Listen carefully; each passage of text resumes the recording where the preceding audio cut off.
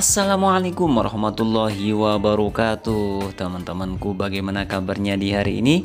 Semoga kita dalam keadaan sehat walafiat. Amin ya robbal alamin. Kita sebagai peternak bebek entok tentu pernah merasakan atau mendapatkan ternak entok kita saling makan, saling patok atau saling cabut bulunya atau sampai bahkan sampai tinggal uh, kulitnya saja bulunya habis yaitu kanibal yaitu kanibal itu biasanya saling makan bulunya dan ini adalah Nah, salah satu e, cara atau teknik yang teman-teman peternak itu e, diskusikan atau berbagi ilmu, ya, begitu. Ini saran dari teman-teman. Ini ada e, apa daun pepaya dan daun mengkudu. Nah, ini saran dari teman-teman peternak, ketika ada ternak entok kita yang kanibal atau saling makan bulunya gitu sampai-sampai uh, habis bulunya dimakan itu. Nah, ini uh, kata teman-teman itu bahwa kita gunakan daun pepaya dan daun mengkudu. Nah, katanya. Dan ini sekarang saya mau coba nih. Nah, supaya uh, bisa juga berdiskusi atau berbagi sama teman-teman. Nah, mungkin kalau ada teman-teman yang mendapati atau ada entoknya yang kanibal nah yang kanibal nih nah mungkin bisa mencoba uh, daun ini yaitu pepaya dan daun mengkudu. Bisa juga ditambahin garam gitu. Garam supaya menambah kalsium kepada pakan dan bebek entok itu sendiri.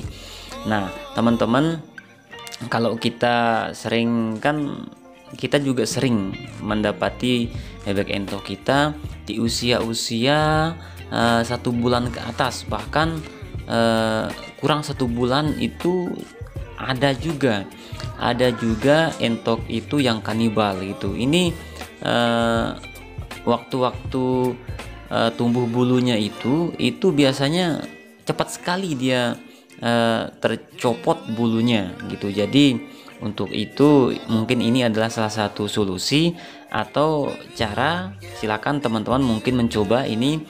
Uh, saya juga kurang tahu ini kurang apa kurang mengetahui ilmu ilmu ini akan tetapi uh, kita ada teman yang uh, berbagi uh, pengalaman lah begitu. Dan ini kita diskusikan kita bagikan ke teman-teman. Mungkin teman-teman bisa uh, apa menggunakan cara ini. Mungkin menemukan bebek entoknya sedang kanibal gitu. Ya mungkin ini bisa efektif atau tidak gitu. Ya yang penting dicoba yang penting di diimplementasikan masalah uh, manjur atau tidaknya itu walau alam gitu yang penting kita sudah coba ya gitu jadi mungkin teman-teman bisa untuk mengaplikasikannya di peternakannya. Mungkin ada yang kanibal-kanibal.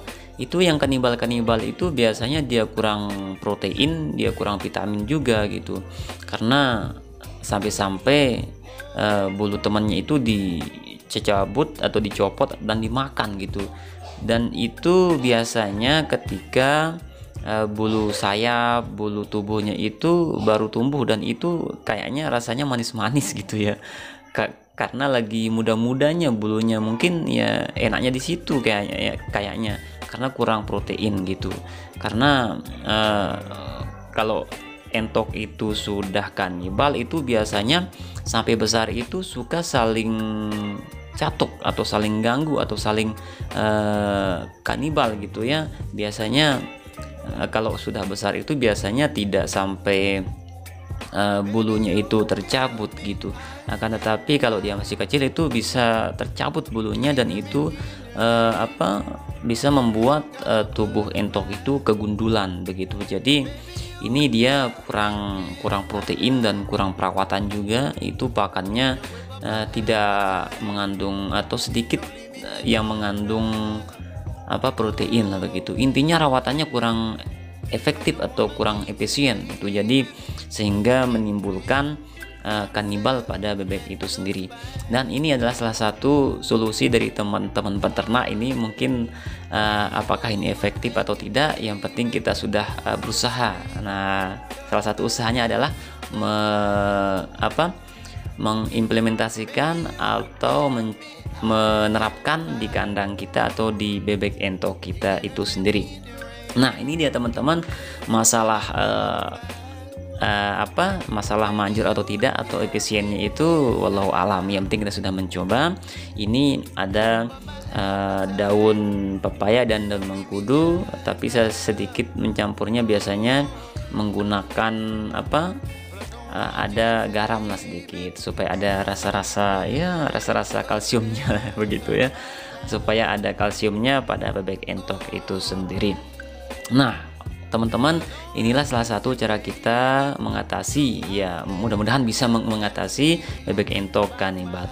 Oke teman-teman terima kasih atas perhatiannya dan mohon maaf atas segala kekurangannya. Sekian assalamualaikum warahmatullahi wabarakatuh